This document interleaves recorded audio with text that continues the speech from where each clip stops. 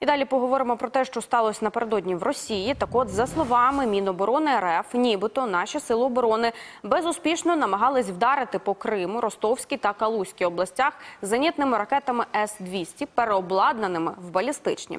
Напередодні губернатор Брянської області Олександр Богомаз повідомив, що ППО Росії нібито збили на території області дві ракети. За словами чиновника, одна з них упала в селище Битош, яке розташоване майже за 170 кілометрів від кордону з Україною. І внаслідок цього ніхто не постраждав, але нібито було повністю зруйновано пилораму. У російських пропагандистських медіа припускають, що на відео потрапила ракета комплексу С-200 радянського виробництва, і що ракети цього комплексу нібито можуть бути адаптовані для застосування по наземних цілях як балістичні, що збільшує дальність їхнього польоту до 300 кілометрів.